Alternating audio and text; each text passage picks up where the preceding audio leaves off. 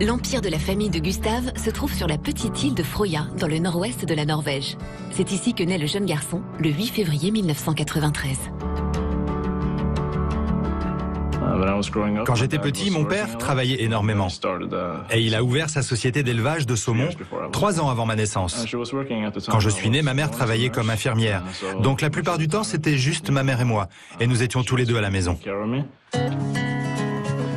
Gustave est fils unique et il a grandi dans cette maison. Aujourd'hui, la demeure familiale n'est plus habitée, mais les parents de Gustave l'ont conservée intacte et à l'intérieur, rien n'a bougé. Ah, mon ancienne chambre.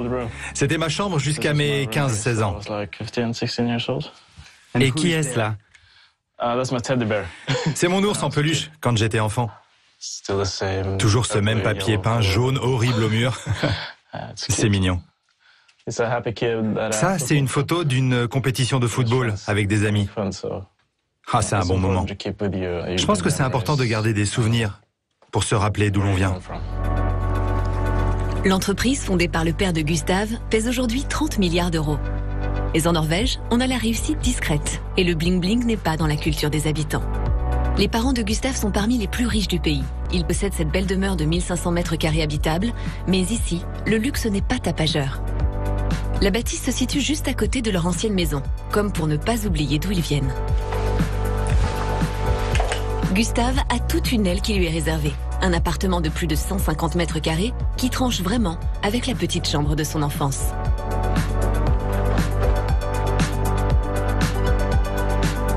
En revanche, chez les Witzeux, le petit déjeuner se prend toujours en famille et avec du saumon.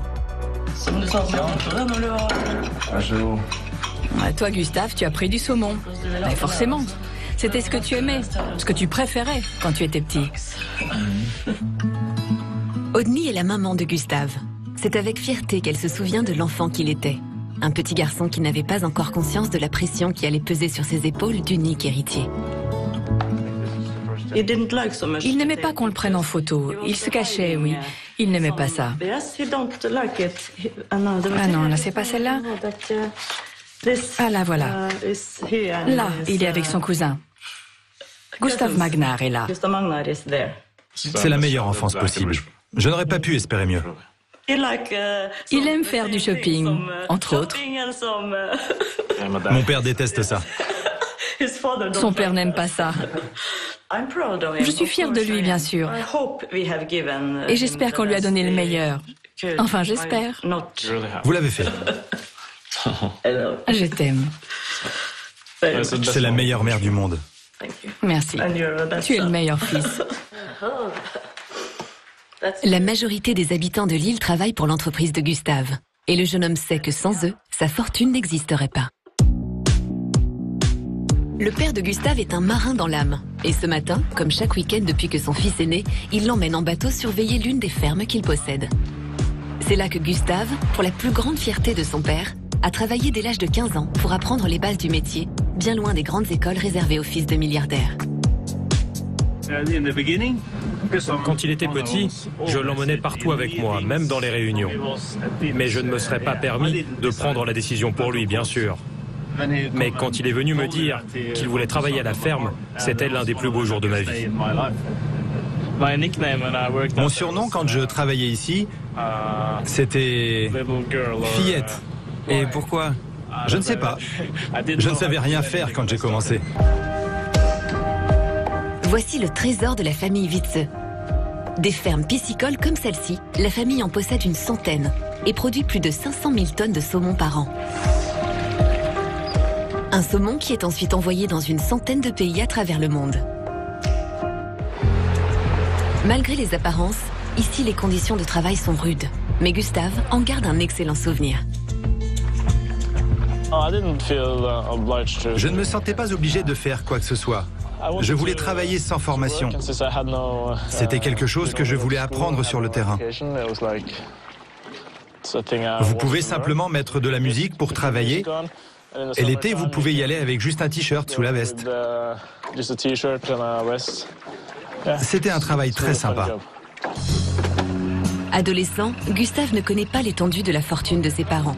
Ainsi, lorsqu'à 16 ans son père lui lègue les rênes de l'entreprise, Gustave dit oui sans vraiment comprendre ce qui lui arrive. C'était presque comme un dîner ordinaire avec mes parents. Ah tiens, en fait, on va te donner toutes nos parts de l'entreprise, car on va devenir public et c'est le bon moment. Moi, je ne savais pas ce que ça voulait dire à l'époque. Je me disais, bon, ok, très bien. Puis j'ai réalisé après. Car vous savez, en Norvège, les impôts sont publics. Et donc vous pouvez savoir combien a gagné votre voisin dans l'année. Et les médias font une liste des personnes qui ont gagné le plus d'argent.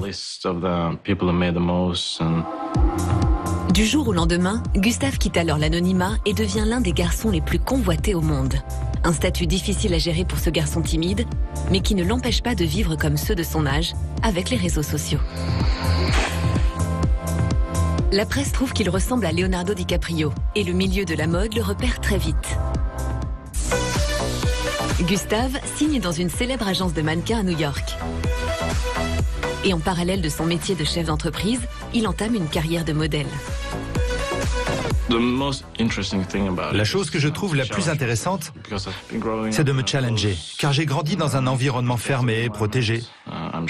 Et moi, je suis timide. Alors j'essaye toujours de me dépasser. Gustave vit la semaine à Trondheim, à 3 heures de route de chez ses parents. Une formalité pour son bolide à 200 000 euros. Hey, salut Venez il s'est acheté cet appartement de 200 mètres carrés où il vit seul, situé dans le quartier historique de la ville. J'aime les couleurs sombres. Et la plupart du temps, les stores sont fermés. Car j'aime bien que ce soit cosy chez moi. J'aime garder l'espace propre et toujours bien rangé. Si le salon n'est pas ordonné, alors là, je deviens fou. Mais tout milliardaire qu'il est, le jeune homme n'a pas la folie des grandeurs. Voici ma chambre. J'ai pas besoin de plus grand. Pourquoi faire c'est parfait, j'ai de la place. J'ai une cuisine que je n'utilise jamais. Il y a un lit pour que je dorme. Et maintenant, je vais vous montrer ma pièce préférée, celle où tous mes vêtements sont rangés.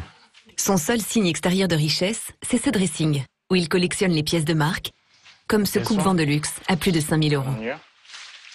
Ça, c'est une veste d'un créateur français. Je l'adore. C'est un peu bizarre, mais ça, c'est cool. Il y a écrit dessus. par amour. Et si vous aimez les tigres, regardez. Et vous les portez? En été, oui, elles sont très agréables. Vraiment? L'autre passion de Gustave, c'est le football. Ce soir, avec ses amis, il regarde son équipe favorite, Manchester United. Et au moment de passer à table, Gustave, qui n'aime pas cuisiner, n'a qu'à descendre en bas de chez lui, dans son propre restaurant, l'un des plus réputés de la ville. Et c'est directement en cuisine qu'il passe commande auprès du chef, qui sait que son propriétaire peut débarquer à n'importe quel moment. Bonjour. Ça va, Gustave?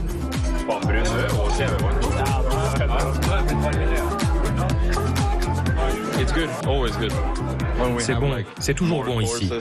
Quand on a un repas et quelques verres, alors on passe la soirée à se raconter tout et n'importe quoi. Est-ce que Gustave est drôle? Il se moque de moi souvent. Car il aime me voir dans l'embarras. C'est la chose qu'il préfère au monde. Oui, on s'amuse beaucoup. Et on se soucie vraiment les uns des autres, c'est ce qui compte. Ce matin, et comme quatre fois par semaine, Gustave se rend à la salle de sport où son coach l'attend. Le jeune homme peut tout s'acheter, mais pour rester mannequin, il doit travailler dur.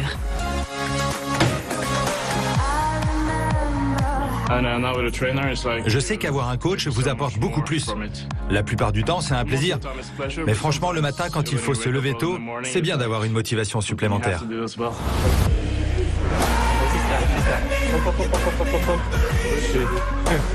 Après le sport, direction le palace de la ville, où petit privilège, le jeune homme peut profiter de la piscine quand il le souhaite.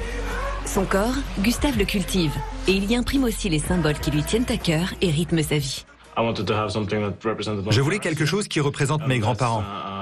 à cet endroit. Et là, c'est un ange qui veille sur eux. Le tigre, c'est simplement parce que je trouve que ce sont des animaux magnifiques. Et là, ce tatouage, il vient de la mythologie grecque. C'est un dieu qui a des ailes, mais il ne s'en sert pas, sinon il meurt. C'est sa malédiction. En fait, ça m'aide à rester humble.